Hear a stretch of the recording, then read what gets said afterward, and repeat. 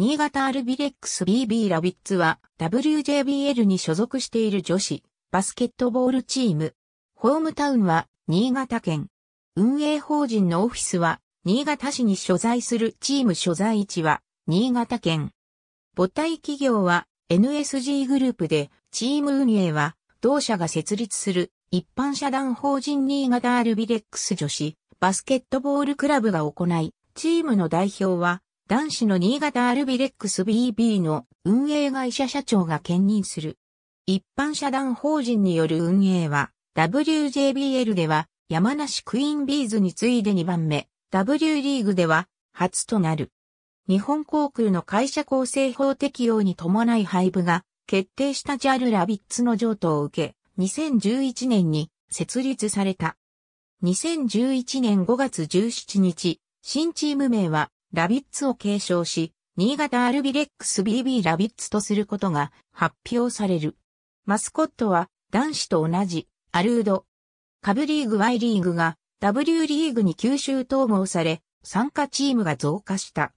アラ純一ヘッドコーチが引き続き指揮を取り、12チーム中6位。アラ純一 HC が退任、江藤明平 AC が HC 昇格。12チーム中8位。江藤明平 HC の2シーズン目。11チーム中9位に順位を下げた。江藤 HC が退任し、隅田久美子が新 HC に就任。走るバスケを掲げ、2ラウンド制に変更されたシーズンに挑んだが、2012から13シーズンの山梨以来、リーグとして2回目となるシーズン全敗となった。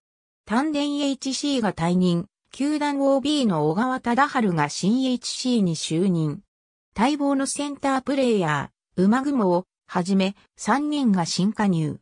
一方で対談する選手の一人、クンさんの引退により、JAL 時代からの選手が出来のみとなる。昨シーズン全敗の反省から、チーフトレーナーを新設し、新潟市内をジプシーしていた練習場所も、五選手総合会館に固定するなど、強化方針を見直した。開幕17戦目となる山梨戦で678日ぶりの勝利を挙げて、3シーズンまたぎの連敗を53で止め、翌日も勝利して2シーズンぶりの連勝を果たした。ホームアオーレ長岡で迎えた19戦目となる、アイシンオータムウィンター戦には、敗れ3連勝とはならなかったが、翌日には、雪辱を果たし、686日ぶりのホームゲーム勝利となった。しかしレギュラーシーズンの勝ち星はこの3つに止まり、アーリーエントリーで3人が加入した2次ラウンドも山梨相手に挙げた1勝に終わった。最終順位は12チーム中11位。小川忠春 HC の2シーズン目。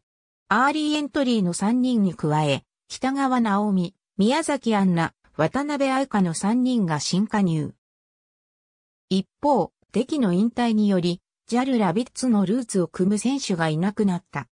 また昨シーズン練習拠点として使用した五泉市総合会館が工事で使用できなくなったことから、五泉市に隣接する阿賀野市と協定を交わし、水原総合体育館を拠点に再出発することとなった。12チーム中最下位。小川忠春 HC の3シーズン目。12チーム中最下位。小川忠春 HC の4シーズン目。12チーム中最下位。新ヘッドコーチに、新潟県内の高校、大学での指導経験が豊富な大滝和夫が就任。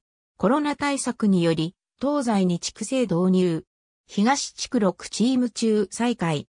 大滝和夫 HC の2シーズン目。